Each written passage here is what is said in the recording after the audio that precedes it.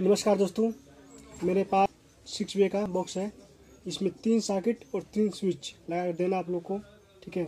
और कनेक्शन करके दिखाएँगे आप लोग कैसे कनेक्शन किया जाता है। सॉकेट लगाने की जगह तोड़ देते हैं।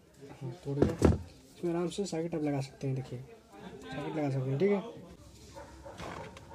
एक, दो, तीन। तीन सॉकेट और तीन स्विच